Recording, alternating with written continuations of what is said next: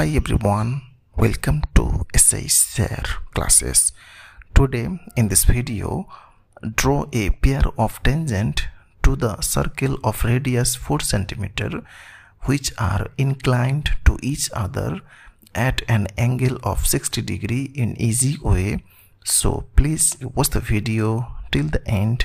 So let's start the video. First of all, let us measure here radius equal 4 centimeter with the help of compass and scale. So this is perfect. Next putting the compass here and taking any point. So drawing a circle by this way. Next this is the center of the circle. So taking here o as a center of the circle. Now taking a point on the circumference of the circle here. So taking here point n. Now joining on and on is the radius of the circle. Next. Now first drawing a tangent at the point n with the help of compass. So putting the compass on the point n and taking any length. So first drawing here an arc by this way. Next. Putting the compass here and taking same length. Perfect okay now cut here. Now putting the compass here with same length and cut here and drawing here an arc. Now again with same length and putting the compass here and cut here. Okay so now joining this and it is a tangent at the point n. Next drawing an angle 120 degree angle with the help of compass at the center.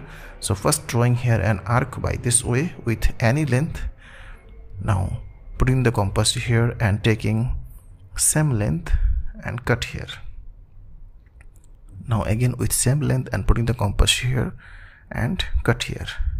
So drawing 120 degree angle at the center O. Now joining this and which made the circumference of the circle at a point. So taking here point P. Okay. Now by similar way drawing another tangent at the point P so first drawing here an arc by this way. Next putting the compass here taking same length and cut here.